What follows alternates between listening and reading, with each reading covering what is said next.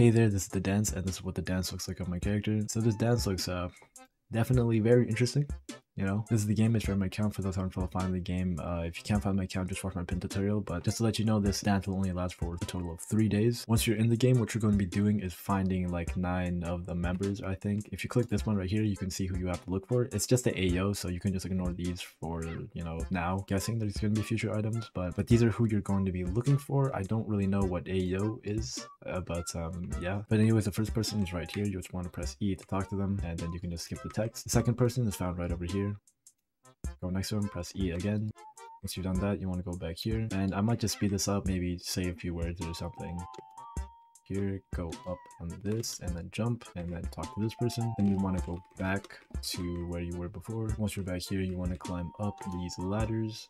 Here's another person. On that, you want to go over here. These purple things disappear, so you have to be quick. Right over here, press E to talk once again. You want to go back over here. You can actually double jump, by the way. Be careful not to go onto the orange stuff right there because that kills you for some reason.